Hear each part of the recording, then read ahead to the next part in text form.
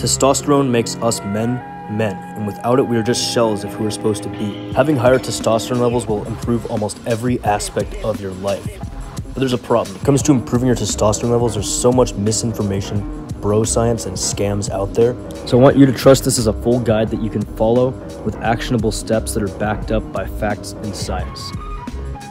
Number one is vitamins and minerals. If your body doesn't have enough vitamins and minerals and you're deficient in any one of these, then your body's not going to be able to produce testosterone and then you'll be deficient in it. So which vitamins do we need to be eating? Chances are you're probably deficient in at least one of these vitamins, if not like half of them.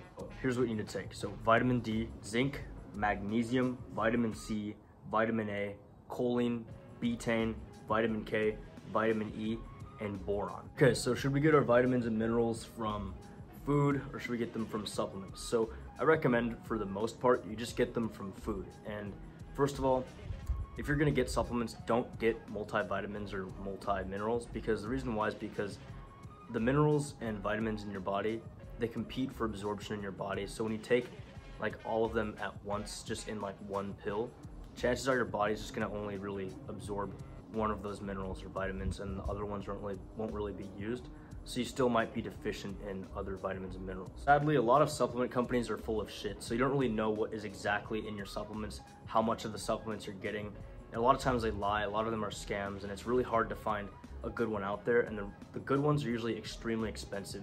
I don't think supplements are the devil, but I would just recommend you follow this rule of thumb. So try to get around 70% to like 90% of your vitamins and minerals just from foods and then the rest you can do from supplements. And for time's sake, I'll create a list of all the foods you need to eat in order to get all your vitamins and minerals in, and how much of those vitamins and minerals you need to eat, and how much food you need to eat. And I'm just doing this for time's sake because this would take me like 10 minutes to explain. Number two is getting your fats in. This is the most important macronutrient when it comes to uh, testosterone optimization and just hormone health in general. Why fats are extremely important. So first of all, your body needs fats in order to produce testosterone. Fats also have cholesterol in them, and cholesterol is what your body uses in order to make testosterone. Also, your body needs healthy fats to reduce inflammation, and inflammation reduces testosterone. So your body has to use fat in order to produce all of your sex hormones, and obviously we're talking about testosterone in this one. So a little tip that I have is eat some fats before you go to bed. So I just eat some salty nuts before I go to bed. I just eat some Brazil nuts and almonds before I go to bed. And the reason why is because your body produces most of its testosterone when you're asleep. So when you eat some fats before bed, it's just a good little way to make sure your body has the nutrients it needs before you're about to like produce testosterone in the night. So what should our diet look like? Should it be like a keto diet? Should it be a low carb diet? Should we, like what do we do? How should we structure our diet? Well, you wanna look at what reduces your testosterone and what harms your testosterone in your diet. So first of all is high amounts of sugar. So there's a study that showed that eating 75 grams of sugar reduces your testosterone by 25% for two hours. So if you're eating sugary snacks throughout the day, like every couple of hours, you're lowering your testosterone down by 25% every time you do this for two hours. So if you eat like sugary snacks like every couple of hours, you're just constantly lowering your testosterone levels throughout the day. Next, you wanna try to avoid seed oil. So this is like soybean oil, sunflower oil, cottonseed oil, rapeseed oil, grapeseed oil, rice oil, like, you know, pretty much any oil that comes from a seed is not going to be good for testosterone levels. And one of the reasons why is because seed oils cause inflammation in your body and inflammation reduces your testosterone levels. So instead of cooking with seed oils, try to cook with some sort of butter, maybe like some sort of animal fat or ghee, which is like Indian butter. So eating a testosterone friendly diet, you want to just mainly aim for single ingredient foods and get your vitamins in. So most of the foods we eat have just a bunch of crap put into them, like weird preservatives, seed oils, high fructose corn syrups, all this stuff. And all of this causes inflammation and all these other hormone imbalances, which lowers testosterone levels. And you wanna avoid the processed garbage that is available to a lot of us. Basically, we're just eating what we're meant to be eating. We're not meant to eat a bunch of chemicals that is put in our food. So when you go shopping or when you go shopping with your mom or I don't know, whatever, just aim for single ingredient foods like apple, steak, piece of bread, you know, like chicken, uh, asparagus, not like something with a bunch of weird chemicals and ingredients on the back because chances are it's probably not good for you at all. So pretty much just try not to eat any processed foods or like any sort of artificial foods or artificial sweeteners because all those sort of processed and artificial foods are terrible for your health and your testosterone. So just aim for single ingredient foods like chicken, apple, beef. Like the only ingredient in chicken is chicken. So try to just eat single ingredient foods. So I recommend that you eat the majority of your foods from proteins around like 60%, and then the other 40% will be like 20% fats and 20% carbs. But obviously, this doesn't have to be exact. It's just sort of a rough number to follow. Number four is sleep. And you probably hear this all the time from your parents or like just everyone says it on YouTube or whatever, but this is the most important one. The reason why is because your body produces almost all of its testosterone when you're asleep. So if your sleep sucks or if you don't get much sleep at all, then you're basically missing out on how much testosterone you can produce. And so step one to improve your sleep is to be in bed for longer. I know, it sounds like the most dumb shit ever, but think of it like this. So you think you get eight hours of sleep. You go to bed at 10 p.m., you wake up at 6 a.m., but chances are you're more likely getting around seven hours of sleep, maybe even six and a half hours of sleep. And the reason why is because it takes you like probably 30 minutes to fall asleep, and then you're probably waking up a couple times in the middle of the night. And then also, there's probably someone that wakes up earlier than you, like early in the morning, and they kind of wake you up before your alarm even goes off. So realistically, you're not getting eight hours of sleep. And that's why you feel tired when you get eight hours of sleep is because you're probably getting more like seven. All right, so here's how I improve my sleep quality. The first thing is you wanna make sure you're not mouth breathing. And the reason why is because if you're mouth breathing, you're probably snoring and that's causing you to have less oxygen when you sleep, which will cause sleep apnea and make you wake up more often. So the easiest way to do this is to just, first of all, reduce congestion in your nose so you're not clogged up all the time. And also you can get this stuff called micropore tape or I don't know, I'll just put it on the screen. Tape you put on your mouth to basically prevent you from just mouth breathing. And you're not gonna suffocate from it. It's just gonna have that tiny bit of force just to keep your mouth closed. And it'll basically just make you breathe through your nose more often. And when you breathe through your nose when, when you're asleep, you're gonna get more airflow and you're gonna sleep better. So one of the best things you can do to improve your sleep is to reduce the amount of artificial light you get the amount of stimulation you're basically putting in your brain before you go to bed. So like all this artificial light, like, you know, Instagram, TikTok, video games, watching TV, watching his YouTube videos, they aren't gonna help you fall asleep. You're basically just stimulating your brain even more, which is the opposite of what you want before you go to bed. So just follow this rule. So an hour before you go to bed every single day, just don't use any sort of technology. And also, the artificial light also messes with your ability to fall asleep. So try to reduce the amount of light that you're intaking around an hour or two before you go to bed. So like, just try to turn off as many lights as you can in your house. Try to just turn off as many lights as you can in your room. And if you do have a light on, try to just make sure it's not above your head and that it's like on a lower surface, like, you know, a foot above the ground. And it's like a more of a yellow kind of color of light and not like that super bright blue kind of color of light. You know, just around one hour before you go to bed, just reduce the amount of light you intake, and do not use any technology. Now, the next thing you want to do is I've struggled with this a lot, and it was overthinking and just, you know, being super anxious before I'd go to bed. You know, I'd be trying to fall asleep, but I'd just be stressed thinking about what I had to do tomorrow, the awkward moments that happened in high school, just a bunch of random shit, right? I was just thinking about a bunch of nonsense. So the easiest way to solve this um, is to pretty much just journal before you go to bed. So I just basically write down all my thoughts that are going on in my head. You know, it's the end of the day. I mean, I'm kind of thinking a lot and I just write down all the thoughts that are going on in my head and just put it on a piece of paper so I don't have to think about it when I go to bed. All my thoughts are just, you know, out of my head on a piece of paper instead. So another thing you can do is you can also just plan out your day before you go to bed. And I do this every single day. So instead of worrying about what you're going to do the next day, just plan it out before you go to bed. And from this, you're going to be a lot less worried about what you're going to be doing, what you're thinking about, because you've already just done it. So now when you go to bed, there's not much to worry and think about. Okay, so stress. Stress is a killer of testosterone. And the reason why is because there's cortisol, and cortisol is basically the opposite of testosterone. Cortisol reduces the amount of testosterone that your body produces. So the reason why is basically your body prioritizes either survival or reproduction, not really both. So if your body is prioritizing survival, it's not going to prioritize reproduction. If your body's prioritizing reproduction, obviously it's not going to prioritize survival.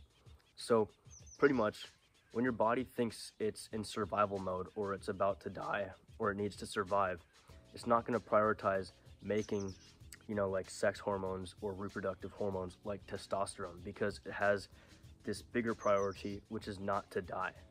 And the thing is, when you're chronically stressed and you have a lot of cortisol from that stress, your body thinks it's in survival mode. Your body thinks it's in a bad place and it needs to go into like survival mode. So from that, it's basically gonna just shut off testosterone production for a little bit and focus on surviving and prioritizing what it needs to do. And from that, your testosterone levels are gonna be lower. So really the main ways to reduce stress for me are pretty simple. Really what I do is I just, once again, I just journal out my thoughts and it really just gets all these like thoughts going on in my brain just on a piece of paper and I can just look at it like objectively and think about it from a logical viewpoint instead of just being worried about it so much. And then the next thing I do is I just meditate for a bit. So it's just a good way to clear your brain. It's pretty much just a good way to be more present in the moment and not all caught up in your head. So I do that every single day. And I noticed that helped with my stress reduction. And then also I do jujitsu and some sort of combat sports. So you know, just like fighting is a great way to reduce your stress. It works every single time. It's really simple. Or also just some sort of exercise is chronic inflammation. So chronic inflammation, we're almost all chronically inflamed. It plummets your testosterone levels. And the reason why is because your body either prioritizes survival or reproduction. And when you're chronically inflamed, or even just inflamed in general, your body is gonna prioritize survival. And I'm not talking about inflammation from being sore, like having sore muscles. It's more about like being sick, you know, constantly eating junk food. Common things that cause us to be chronically inflamed are usually just poor, highly processed food diets. So just look at your diet. If you're eating a lot of like, you know, corn syrups, uh, seed oils, junk foods, fried foods, processed foods, you're probably chronically inflamed. And what this does is your body prioritizes survival, so you're gonna stop producing testosterone because your body has other things to worry about. When you're chronically inflamed, testosterone will go down and estradiol will go up. And estradiol is basically like, you know, the response for more estrogen. So your testosterone will go down and your estrogen will start going up, which is bad. So what are the best natural ways to reduce inflammation? Well, first of all, let's think of the root cause of the problem. For most of us, it's from our diet and most of our diets suck. So don't eat a bunch of highly processed foods. You don't want to be eating a lot of seed oils, you know, a lot of high fructose corn syrup, a lot of just highly processed foods. And you know what I'm talking about, like a lot of those junk foods and just foods that are highly processed. You want to aim for eating single ingredient foods that are more natural and very lowly processed. If you want to take this to the next level, you could get a blood test and figure out which foods like cause you inflammation. So for me, mainly it's like gluten and dairy. And then there's some foods that also help you basically reduce your inflammation. So those are antioxidants. So like blackberries, raspberries, you know, citrus, pretty much any food that has a lot of vitamin C and antioxidants will help reduce inflammation, which will also help you increase your testosterone. All right, number seven is your body fat percentage. So there's really like a sweet spot for your body fat. And there's not like an exact number, but usually if you're too fat or if you're too lean, your testosterone levels are gonna plummet. So how does being too fat affect your testosterone levels? So if you're around 25, you know, to 30% body fat, which looks like this, you're gonna have more aromatase. And aromatase basically converts androgens into estrogen. So basically it just means more estrogen in your body. Now there's also a problem with being too low of a body fat percentage. So for most of us, this is probably around like, you know, 9% and below. And the reason why is because your body either prioritizes reproduction or survival. And when you're constantly in a huge calorie deficit, your body's gonna think you're basically starving and it's gonna start prioritizing survival instead of reproduction. So the healthiest body fat for most men is usually around like 12 to around 20% body fat. Now, this isn't an exact number, but it's just sort of a rough estimate to sort of give you an idea of where to be at. The next is your lifestyle and competition. All right, this is insane. So this graph shows basically the testosterone increase that chess players had when they were competing in chess. So pretty much you can see how their testosterone levels raised up, especially for the green one, player three. You can see that his testosterone levels were at around like 300 and then increased to around 600. And this is from playing chess. So this just shows that competition will have a huge spike in your testosterone for a short amount of time. Think of the caveman times. So pretty much the end goal for most cavemen was to clap cheeks and spit on their jeans. So pretty much there's competition within the tribe because not everyone could clap cheeks. Usually the top guy in the tribe, you know, like the, you know, the, the alpha male in the tribe would clap the most cheeks. So obviously there's competition to see who would be the best, to see who would be at the top of the tribe, you know, who would be the leader, right? And obviously the leader would get all the rewards, like clapping more cheeks. So over time, obviously competition is going to play a role in your ability to produce testosterone because when, when it's time to compete, your brain's basically going to signal you like, okay, it's time to be the best version of myself, to basically release more testosterone so I can win. So obviously competition now is going to send a signal into your brain to basically start pumping out more testosterone. All right, number nine is endocrine disruptors. So what is an endocrine disruptor? So endocrine disruptors are basically things that reduce your testosterone's ability to bind to receptors. So this pretty much means you could have high testosterone levels, but you don't really feel the effects of it because it's not really being released from your body. So there's a lot of endocrine disruptors and sadly they're all around us, but there's two that are really bad. Number one is BPAs. So BPAs are pretty much in all plastics and those are endocrine disruptors. And this is a problem because so much of our food, so much of our water, so much of everything that we consume is covered in microplastics.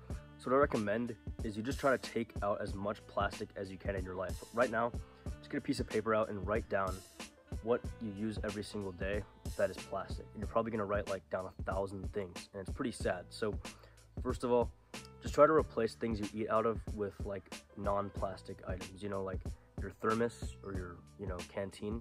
Try to get a metal one. Try to don't try to not eat food out of plastic. Try to buy food that isn't wrapped in plastic. The worst thing you can do is to heat your foods in plastic. And this is because the BPAs become hyperactive.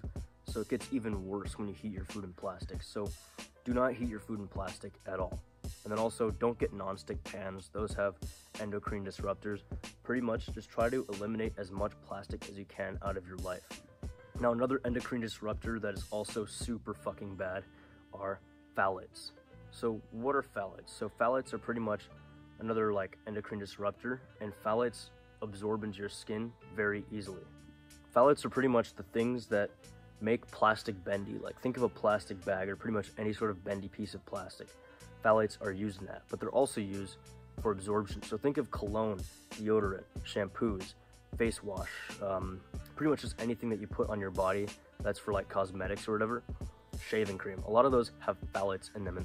And the reason why they have phthalates in them is so the scent can kind of absorb into your body so the smell stays on longer. But the problem is, is that the phthalates absorb into your skin and those endocrine disruptors are now like in your bloodstream, which is just horrible for you, right? So an easy thing you can do is just look at what you put on your body every single day. Look at the shampoos you use, look at the deodorants, look at the toothpastes you use, and look at the ingredients. A lot of them have a bunch of bullshit chemicals. So when you can, try to replace them with more natural alternatives because you don't want to be putting plastic into your body. You don't want to be putting these endocrine disruptors into your body because you could be doing everything right. You could have high testosterone levels, but you're not getting the effects that you want because there's all these endocrine disruptors in your body.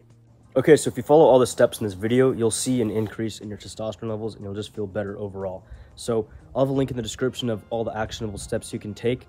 It'll also have all the different foods you can get to get your vitamins in and the amount of foods you need to eat and just pretty much everything you need to know so you can have a bunch of actionable steps. So you don't need to give me your email or anything. It's 100% free. And uh, yeah, that's it. I'll see you in the next one. Bye.